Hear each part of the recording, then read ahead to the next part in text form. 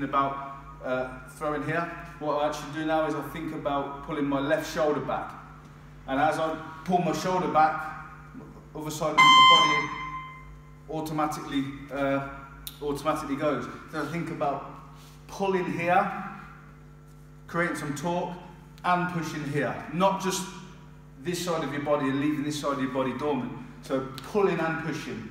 Even from here, I'm pulling back with my right hand, pulling, using my shoulders, my hips, boom, and using that into my left hook.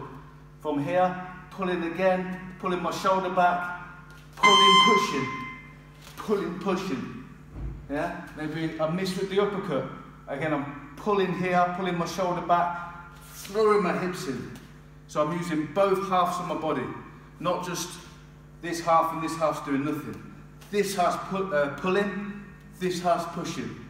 And that helped me get a little bit extra power in my punches. Yeah.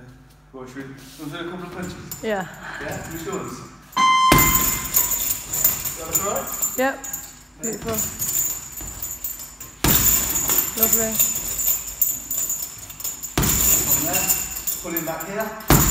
Oh.